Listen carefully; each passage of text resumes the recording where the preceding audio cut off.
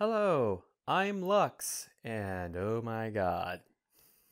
And I'm Ember, sweet Celestia. And this is our thoughts on My Little Pony Friendship is Magic, Season 8, Episode 18 Yakety Sax. Don't talk back. Um, what happened? Uh, we shoehorned the return of Pinkamena. The main six were so in the wrong here that. What? Yes, she was terrible at playing the Yovidaphone, and yes, she was making other people miserable. That does not mean that she shouldn't do it. Because the lesson that you're getting in the early part of the episode is if you're not good at something, you should quit. Because that's what her friend said. You've been practicing for months and haven't gotten any better. Therefore, you should stop. So you are only allowed to do things that you are good at. Regardless of whether or not you're enjoying them, you can only do what you're good at. Just, it's just, I mean, I'm usually okay with bad Pinkie Pie episodes, but this was just bad. I mean, I was cringing the entire time. There were some parts that were funny, but most of the time I was like, ugh. Because, okay, Twilight, you're one of the most powerful unicorns ever, even before you got your princess upgrade. All you had to do was put up a sound barrier so that nobody heard Pinkie Pie while she was practicing. Problem solved. Pinkie Pie could practice and enjoy it and those who were hurt by the sounds and hated hearing it wouldn't have to hear it.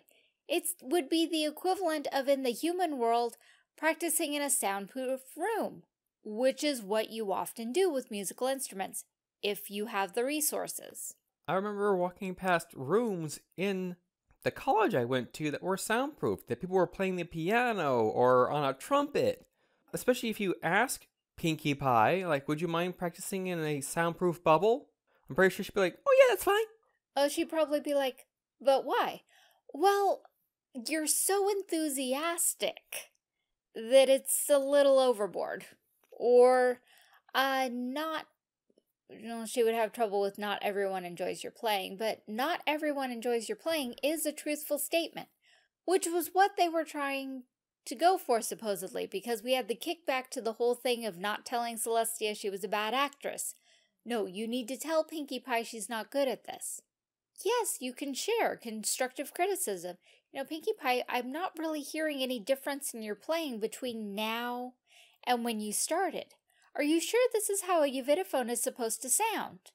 Also, where was Yona this entire episode? You have a yak at the school. Yak culture is all about yak things.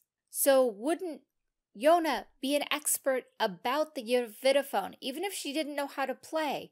Wouldn't she know how one sounded and how it should sound?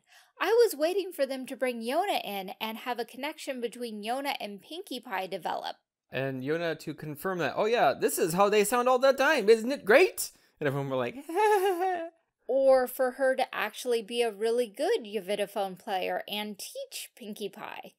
Because the music we heard on the record players every time we've gone to the Yak Kingdom has sounded very nice. So, was that a Yovidaphone? Be interesting to go back to those episodes and compare that recording to the Yovidaphone player at the bar. Hmm. That would be interesting to do. Though probably one of our commenters, a specific Sasami chan, will probably already know. I'm sure they will. Also, welcome to all of our new subscribers, all two of you. As of this recording, by by the time this posts, there may be more of you. Also welcome. Very welcome.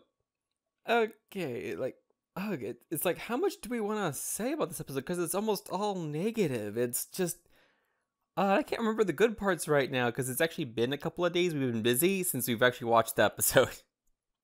Yeah, and we couldn't really bring ourselves to go back and do it again. We knew we'd hit our main points, I mean, she's so enthusiastic and that's wonderful. But so many negative nitpicks, like, um, going back to good things, everything with Maud. I have done that. People go, Can I ask you a question? You just did. Deadpan, just like that. Uh, yeah, Maud is almost always gold. I, I can't think of any time she isn't, except when she's granite. Ah, I thought you mean when ponies take her for granite. Ooh, it's even better. Hi hoof. Oh yeah, I completely forgot about Maud. Like the rest of the episode kind of erased that from memory. Maybe you could help me remember some stuff. Please, more good parts. We need them. uh, yes, that Maud had all of Pinkie Pie's stuff, and Rarity kept going, I'm sorry, Mar- I can't possibly have heard you correctly. You didn't just say that Pinkie Pie left for Yak Yakistan and is never coming back. Thank you. It's all coming back to me. uh, song reference check. Um, uh, yeah, that one's a bit newer than the one referenced in the episode title. I don't know why the main six didn't see this coming. Because Pinkie Pie clearly stated, you know, when they asked her to give up, you mean this thing that I love more than anything and makes my life worthwhile? I, I thought happiness in others was that thing. You know, the song back in, I believe it's season two. Yeah, the the smile song.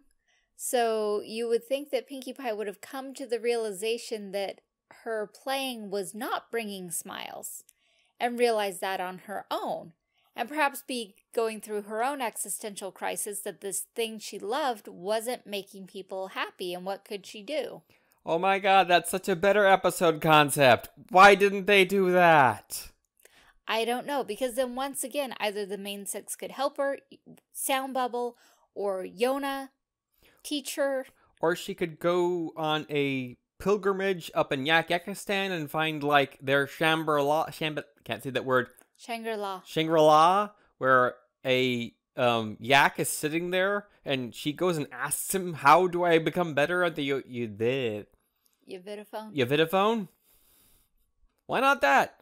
Much better episode. A lot more opportunities for good comedy with Pinkie Pie, especially physical comedy while she's climbing the mountain. Carrying her Yovidaphone. She may even have to like give up her Yovidaphone to help rescue someone on the way up or down or something. Yes, there's a lot of parts to it. To have to use it for parts somewhere along the journey. Yeah, you know, just something other than what we got. Yes, and continuing nitpicks. Pinkie, that Yovidaphone in the bar was not yours. Hmm. And that's a mouth instrument. that reminds me of an episode of Monk. Good show. I did watch it sometime. It's all out there. They did a great way of wrapping up the ending. But going back to the episode I'm thinking of, Monk gets to play with a band he really likes, and he has, I believe it's a recorder? I can't remember the exact instrument. I just know it was a mouth instrument. And he was all ready to play it.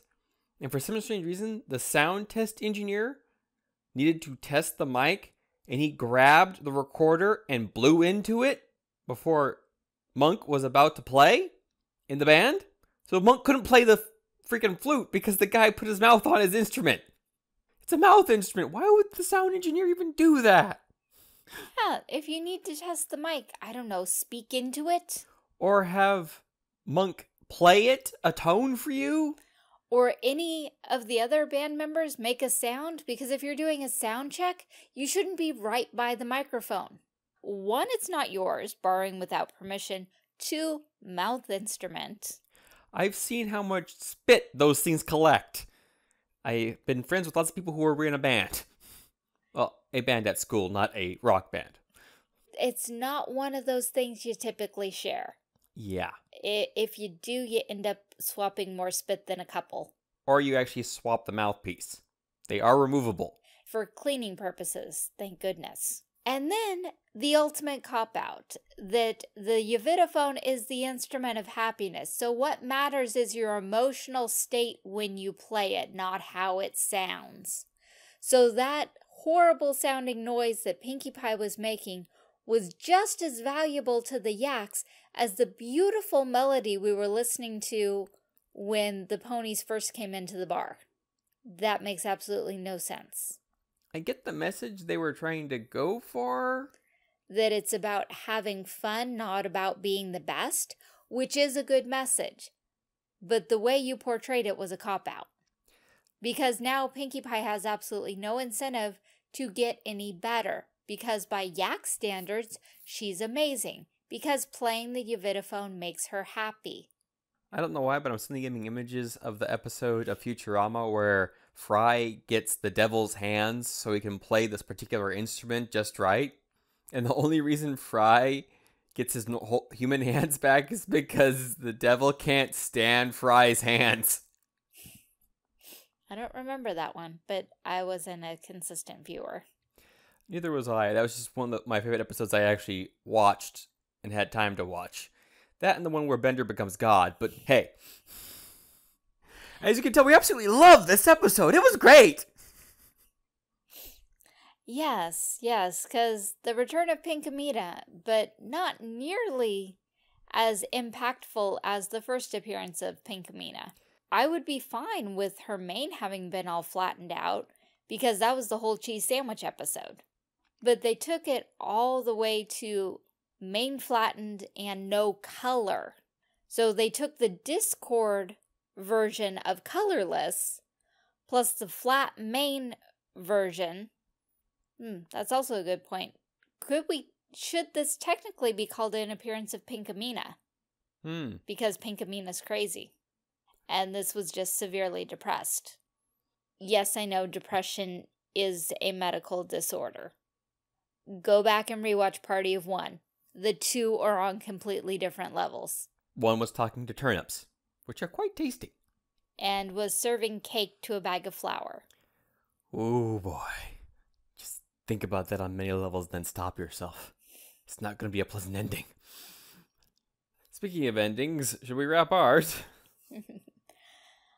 yeah, yeah, because there was just a lot of potential here, and it feels. I think the problem is that we can think of so many ways that this could have gone better in our opinion, which always detracts from an episode. When you go, hmm, I would have liked it better if they did this a good example where I put this in writing, I think it's actually worse than that one episode with all the romantic tropes in it. I actually have to say it's not as painful as that because I have this particular thing myself personally with romantic tropes.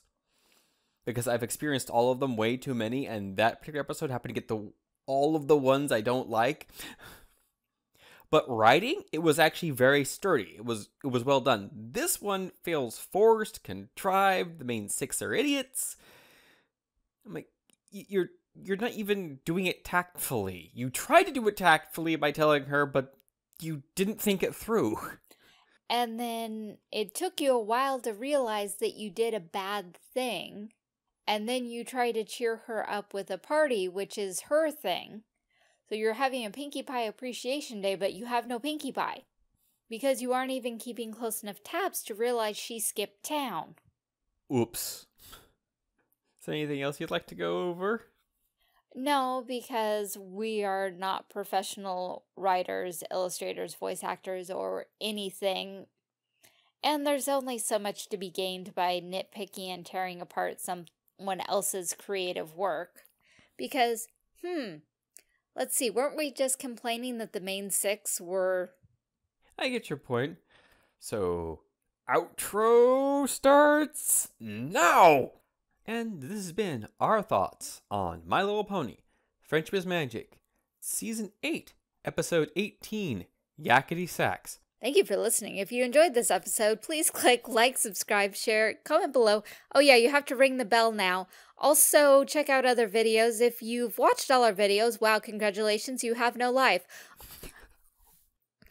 when you're ready to leave YouTube, please check out the other links. There are links to Lux's art and commissions and ways to give us money like Patreon and Ko-fi. Thank you so much for watching and listening. We appreciate all of the support that we receive in the form of views, likes, comments, dialogue, suggestions, and of course financially as well. But all of it is truly appreciated. Thank you to all of our supporters, subscribers, etc., in whatever form you choose to grace us with your presence.